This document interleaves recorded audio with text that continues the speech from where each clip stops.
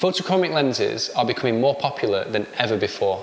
And that's because more people are opening up to the possibility of what photochromic technology can do for their everyday eyewear.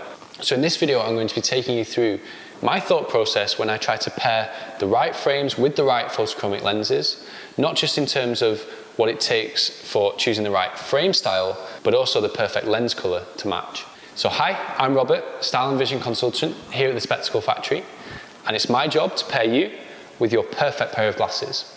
And for many people, photochromic lenses are an integral part of their perfect glasses.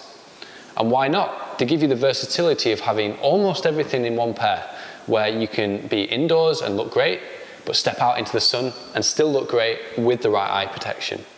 But it's not just that simple because most frames don't look quite right with photochromic lenses and you've probably seen people out on the streets with lenses that or glasses that quite obviously look like photochromic glasses, you can tell that they weren't really designed as sunglasses. But with the styles that I've got here to showcase for you today, which come from some of the very best eyewear designers in the world, you're gonna see what makes a perfect frame to match to a photochromic lens. I've got five men's styles, which I'm gonna showcase and wear for you, and I've got two more feminine styles, which I'm gonna feature later on in the video. And last of all, I'm going to be showing you one of the latest and best photochromic technologies, which can really take your glasses up another level. But let's start with this J.F. Rey frame. This is from the Carbon Wood series. This is the 2863, and it's a frame that I wear myself. I love this frame. I have it in the electric blue color, which is sadly not available anymore. I get asked all the time for it. But I think it looks awesome in every color. It comes in a red as well. In this silver with black carbon fiber and brown or light brown wood, it looks stunning. And it's a perfect match for photochromic lenses for three reasons. First of all, we have the teardrop aviator shape.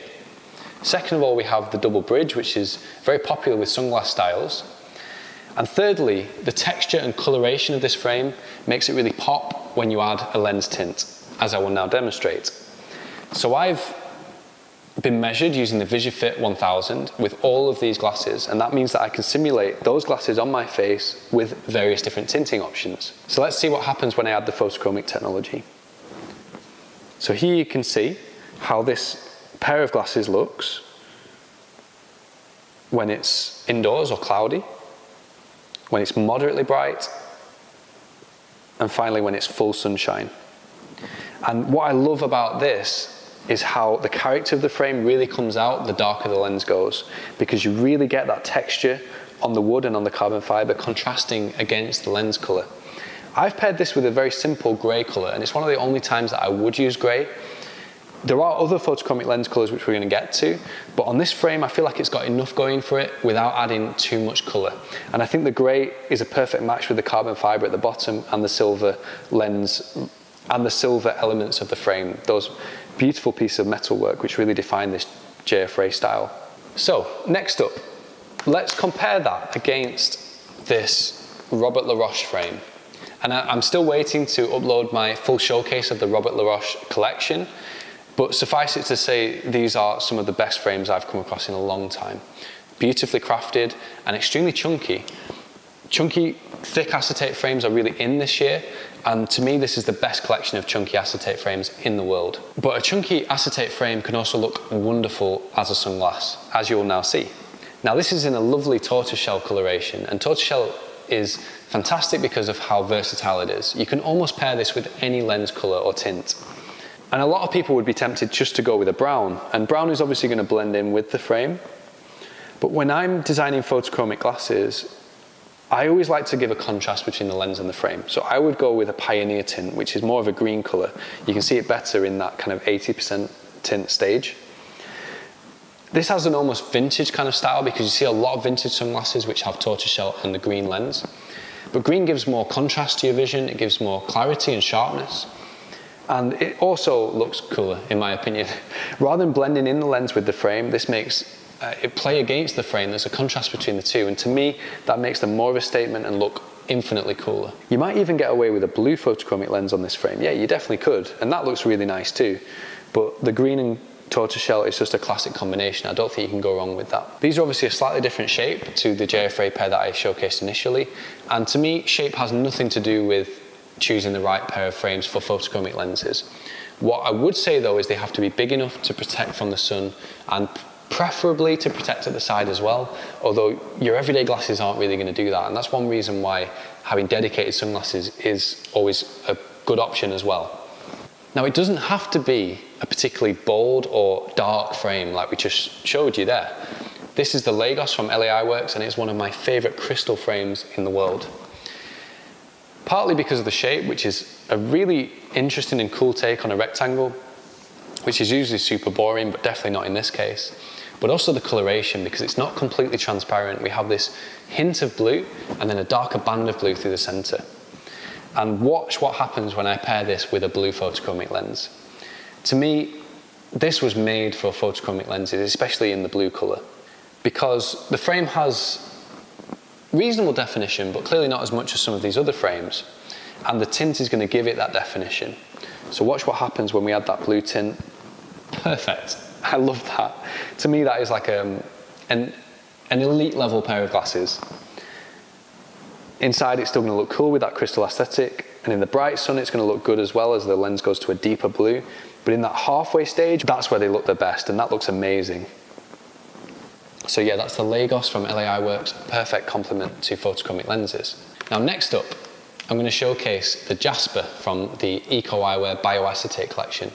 I love the Bioacetate collection because they are much better for the environment. They're made in a much more eco-friendly way. And this Jasper really caught my eye, not necessarily because of the shape, because I think that's quite a boring shape, but certainly the color, which is called caramel. And this is a great example of how a frame doesn't necessarily have to be a crazy, cool, quirky shape to be an interesting pair of glasses. The color can be a huge part of that as well. Now, this kind of color is really difficult to pair with a tint because it has so much going for it already. So I would always go with just a plain gray lens in this case. And I don't often say that, but just like with the J.F. Rey, there's enough going on with this frame where it doesn't need anything more added to it other than just a dark tint. But what I love with the Jasper frame is how as the tint increases, the color of this frame stands out in more and more glory. And that's what photochromic lenses should do. They should enhance the look of your glasses. They're not just like an add-on that makes them useful in the sun. If paired with the right frame, they elevate that frame. And I think that's really what happens here. In the sun, you can imagine that beautiful caramel color really shining out because of the contrast between it and the gray lens. However, you don't have to have a thicker or more defined frame if you're having photochromic lenses. And that's why I've picked out the Cert from Reykjavik Eyes, which is a beautifully minimalistic, ultra thin frame. Reykjavik Eyes are made from one piece of titanium, and that makes them the most comfortable and the most durable glasses on the planet. But they can work with photochromic lenses too. And as you'll see here, with probably a brown lens I would pair because we've got the gold elements and obviously gold is a slightly warmer color. Yeah, I think that brown looks ace personally. You could also probably go with the green. Yeah, the green is nice too, isn't it? Green and gold is also such a classic combination. I think either with brown or green, you've got an amazing pair of photochromic glasses. And I wouldn't pair all thin frames with a photochromic lens. In fact, you've got to be really careful with this kind of style. But because this is a Clubmaster kind of look, where you've got the bolder top rim and the thinner lower rim, this is obviously uh, one of the most iconic sunglass styles ever made and one of the most popular. So it's always going to look great as a sunglass. And that's something to think about. You should always ask yourself that question. Would these glasses look great as sunglasses? And if the answer is yes, they're probably going to match well to a photochromic lens. And that's certainly the case for the Cert. Now I do have two more feminine styles to show you today for those ladies who want photochromic glasses. This one is called the Emily and it's from Barton Perreira Barton Perreira, a beautiful brand from California, one of my absolute favorites. I love the filigree detail and these rose gold temple, uh, or lugs, I should say. And the red frame does make it a difficult one to pair with a photochromic lens, but I would probably go grey with this, just keep it simple again. Because as the frame goes darker towards the top, it goes almost black. That's gonna work really well with a grey lens. And again, it's gonna set off that beautiful red color. Then we have the Quinto from LA Eyeworks. And to be fair, this is not that feminine really. This is definitely more of a unisex style. And I do love the shape of this and the coloration too. Again, being tortoiseshell, you can probably pair it with, with any lens tint, but maybe a green or blue again, like we talked about. I think that would be a really cool combination. Now, once that decision has been made, this is an extra bit that you should definitely consider. This is called photofusion flash technology. And what this is, is a semi-reflective color that's added on top of the lens itself. So we have various different lens colors here, including diamond, which is more of a silver finish if you want it to be colorless. But this gives your photochromic glasses more protection for your eyes by reflecting sunlight away from your eyes. And in my opinion, it really elevates them an extra tier. So let's say, for example, we've chosen the J.F. Rey frame with the gray lens tint. We could then add this diamond flash coating, and that's gonna play with the silver elements of the frame and really tie the whole thing together. But fair enough, that's probably the most boring example from everything we've got on the table. So I'm going to tell you now how I would pair each of these styles with a PhotoFusion flash lens to give you some inspiration. So with the Quinto, again, very versatile, you could go with anything, but I would probably go with the jade finish, perhaps on top of a blue lens. So you've got the blue and green element. That's going to add a lot of fun and a lot of colour to this style. With the cruising, I definitely have, and I'm not sure what makes me think this, but I definitely have more of an inkling towards the ruby. I think maybe there's a bit of brown, a bit more brown and a bit more red in this frame, or something that's making me think ruby. But also the sapphire could work as well. That lovely blue colour is going to contrast against the warm tortoiseshell of the frame. With the cert, there's only one winner.